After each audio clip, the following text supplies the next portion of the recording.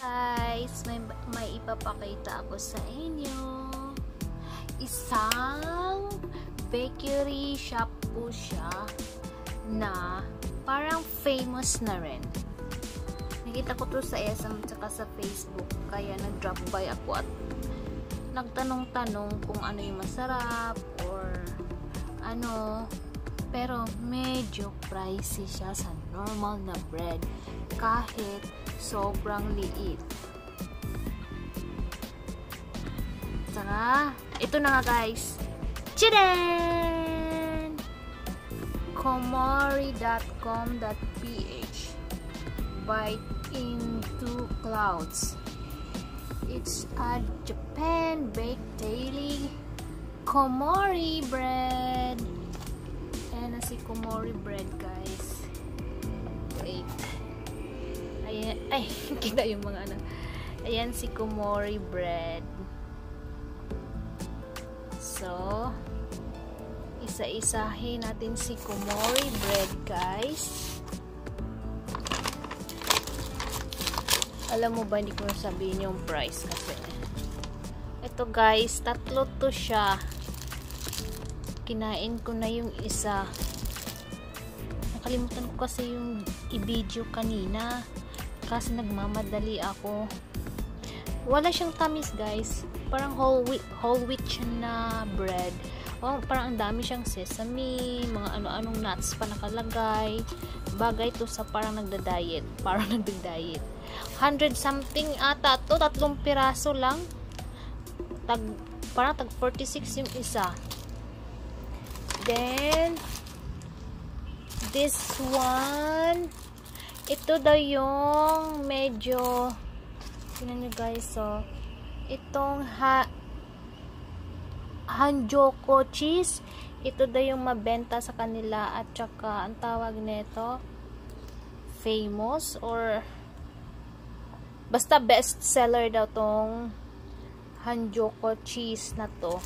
46 pesos itong maliit na tinapay na to. Ito pa guys. Ay, bakit gayon? Bakit gayon? Ayan oh, blueberry. Sana yummy to no. Kaya napainganyo na naman ako sa pa blueberry, blueberry na yan. Titikman ko lang yung mga bread nila. Ito pa. Parang monay lang. Kasi monay ng mukha ko. Ayan o, oh, monay. I-try ko lang siya kasi nakalagay doon parang whole wheat. Chuchuchu. Parang mahilig na ako ngayon sa whole wheat ha. Tikman ko lang to. First time akong bumili sa bakery nila. Tsaka eto. Ito yung sliced bread nila. Feeling ko lang yummy to. Malambot. Hindi naman siguro ganito kamahal. Kung hindi, yummy.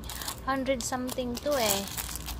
Normally, kung mabibili mo lang sa mga ano, yung mga gardenia, mga 60 plus lang yun, 80, ba diba? Pero 146 ata to. Amuyin ko nga. Hindi ko alam kung masarap ba talaga to.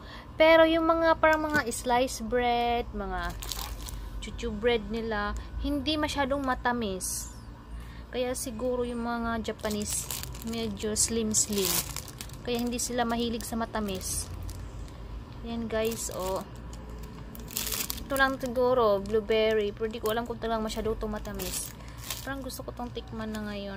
Tikman ko na nga ito ngayon. Inkib-inkib lang. Wala na tunaw siya. Kailangan pala ata itong i-ref. Mm -mm nga lasang kakaiba. Hindi hindi siya normal na cheese na bread sa atin. Ano siya ma ano siya malasang gatas talaga na cheese. Oh, iba talaga siya guys. Hmm mabango. Malambot. 46 lang to oh. parang kasing liit lang ng ano yung pinipig na ang tawag sa Goldilocks pulburon tikman ko ito mamaya. Aray ko. So try ko lang tong Komori. It's Japan Baked Daily. Kung talagang masarap yung mga bread nila. Ayan guys. Yan na sila. Ang cute lang ng packaging ng mga ano nila yung mga plastic. Pati yung decoration ng mga bread nila hindi ko lang talaga na videohan pero babalik ako doon videohan ko cute lang ako sa ano mga paandar nila Ayan na guys. Pero ito talaga natikman ko hindi siya matamis talaga. Whole wheat talaga siya. Okay lang, ba? Kaya titikman ko ulit guys. Tapos pag bumalik uli ako doon sa SM, bibidyohin ko lahat ng mga bread nila. Nagmamadali kasi ako kanina. Kaya, ito na siya ang bread ng Komori. Kain na tayo guys. Salamat sa aking pakitang tinapay joke. Thank you so much. Thanks for watching my pakitang tinapay effect. Bye guys!